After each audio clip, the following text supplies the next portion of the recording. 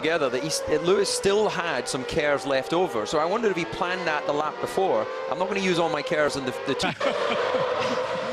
He nearly said a bad word, didn't he? Watch. Very nearly.